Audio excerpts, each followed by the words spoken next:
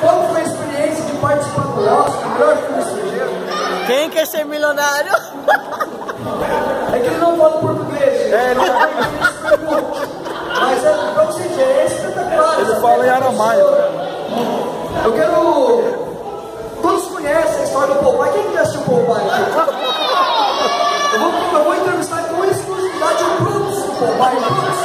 Vamos falar com o. Brutus,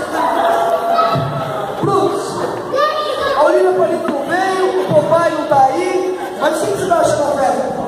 Muito boa? É, não temos espinafre. Pra você, eu acho que deve estar contente isso. Muito parabéns, meu. Eu, não- eu não trouxe o pai nem o livro, mas eu trouxe Tartaruga Ninja.